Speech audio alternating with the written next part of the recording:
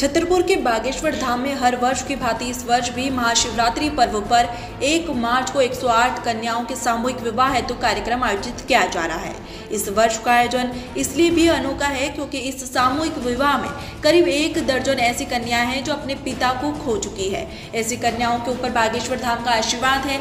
आयोजन में प्रख्यात सत बालक योगेश्वर दास, महाराज बद्रीनाथ धाम, प्रख्यात कथावाचक डॉक्टर श्याम सुंदर पारशर तुलसीपीठ के उत्तराधिकारी रामचंद्र दास जय भैया इंद्रेश महाराज के अलावा भाजपा प्रदेशाध्यक्ष डी शर्मा, संस्कृति मंत्री उषा ठाकुर पीडब्ल्यूडी मंत्री गोपाल भार्गव के अलावा ज़िले के विधायक गण कन्याओं का आशीर्वाद देने शामिल हो रहे हैं। लाखों लोगों की आस्था के केंद्र बागेश्वर धाम में पिछले तीन वर्षों से गरीब असहाय कन्याओं के विवाह किए जाते हैं। शायद देश का यह पहला स्थान होगा, जहाँ वर्ष भर आने वाले मंदिर की चढ़ोतरी को कन्या विवाह के लिए समर्पित किया जाता है।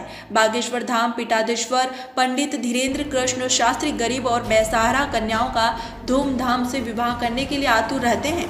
इस बार 108 कन्याओं के विवाह हेतु जो पंजीयन हुए, उनमें से एक ऐसी बेटी है जो अपने माता पिता को खो चुकी है।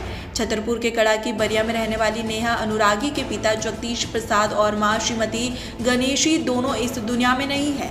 इसके अलावा करीब एक दर्जन ऐसी कन्या है जिनके पिता इस संसार सागर को छोड़कर चले गए हैं। सामूहिक विवाह भीतरी धूमधाम से किया जाता है कि गरीब बेटियाँ ऐसा महसूस करती है कि जैसे वे अपने घर से ही विदा हो रही है। माता पिता का साया सिर से उठने के बावजूद भागेश्वर धाम का आशीर्वाद बेटियों के साथ है। भीगी पलकों से एक मार्च महाशिवरात्रि पर बेटियों को विदा किया जाएगा। विद्वान पंडितों के वैदिक मंत्रोच्चार के साथ पाड़ी ग्रहण संस्कार संपन्न कराए जाएँगे।